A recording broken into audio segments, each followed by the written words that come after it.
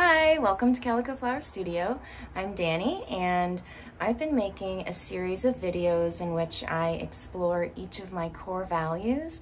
So each video um, delves into one of my values and this video is the last installment in this series and it's the one where I'm going to honor and um, celebrate my value of lightness and humor. So, with that being said, I'm going to share with you a really fun compilation of videos. Um, I like to call it the best of Dahlia and Clover. Dahlia and Clover are my two cats, and they love to help me in the studio. So, um, just sit back and relax and, and, enjoy these cute, cute kitty cats. Um, you know, I feel like they teach me so much about life and how to let go of control and just not take myself so seriously. so, enjoy.